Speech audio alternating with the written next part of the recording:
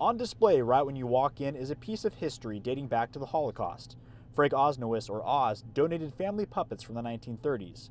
One of them is a satirical puppet mocking Adolf Hitler. They had crafted a marionette of Adolf Hitler prior to World War II as a form of creative resistance. Museum curator Heidi Rabin says the puppet is a key point of history and wants it to resemble how the family used creativity to rebel against the fascist takeover in Germany. Really incredible story of, of fleeing Europe during World War II. Frank's family actually had to bury this in their backyard in Belgium while the Germans were invading because they had to flee. It wasn't until years later they were able to go back and then rediscover it that was still buried in their backyard. It was actually Frank's mother's mother uh, who advised them to bury it. She was very worried about the possibility of them being caught with a likeness of Adolf Hitler. The museum opens Thursday. The exhibit is free to the public and will be open till the end of November.